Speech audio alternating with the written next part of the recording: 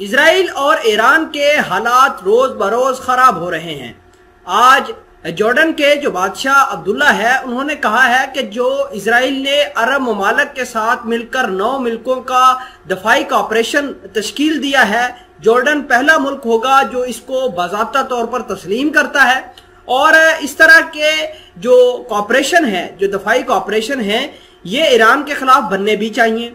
दो रोज कबल शहजादा मोहम्मद बिन सलमान जो हैं, ये जॉर्डन, मिस्र और यूएई के दौरे पर थे और जहाँ पर ईरान के हवाले से बातचीत की गई है। इतलात ये भी हैं कि जॉर्डन और मिस्र के दौरे के मौके पर इसराइल के आला हुकाम ने शहजादा मोहम्मद बिन सलमान के साथ मुलाकातें की हैं। इन खबरों को डिटेल के साथ देखते हैं। छोटी सी गुजारिश है कि आप हमारा यूट्यूब चैनल हसना टीवी को सब्सक्राइब कर लें, पास मौजूद घंटी के निशान को दबा लें। ताकि लेटेस्ट न्यूज़ आप तक बर वक्त पहुँचती रहे। स्क्रीन पर मुलायजा कीजिए, जिसके अंदर लिखा है कि Jordan king says he support Middle East military alliance similar to NATO इस आर्टिकल के अंदर यह बात कही गई है कि ईरान के खिलाफ नौ मुल्कों का इतिहाद बन चुका है और इस इतिहाद को ऑपरेशनलाइज करने के लिए शहजादा मोहम्मद बिन सलमान खुद मैदान में उतरे हैं।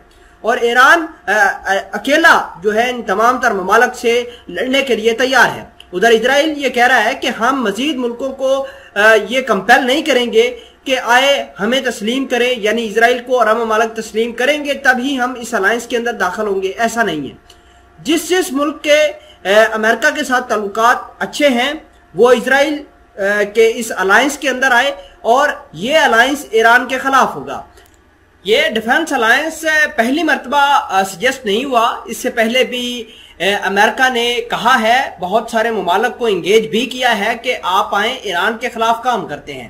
खैर, अगर हम बात करें इसराइल के डिफेंस मिनिस्टर बैनी गेंट्स की तो बैनी गेंट्स का कहना है कि मैं इस प्रोजेक्ट के ऊपर काफ़ी अरसे से काम कर रहा हूँ।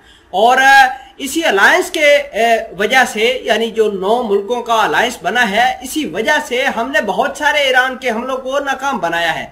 कहा यह भी जा रहा है कि इसराइल और सऊदी अरेबिया आपस में डिप्लोमेटिक ताल्लुकात बहाल कर लेंगे।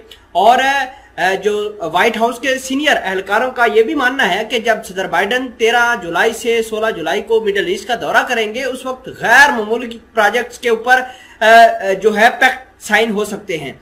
आपको यह भी बता दें कि ईरान और दीगर ममालक, जैसे कि सऊदी अरेबिया इसके अलावा जॉर्डन, मिस्र, इसराइल, ये सारे के सारे आपस में टसल में हैं और ईरान को किसी ना किसी तरीके से नुकसान पहुँचाने में पे दर पे काम कर रहे हैं।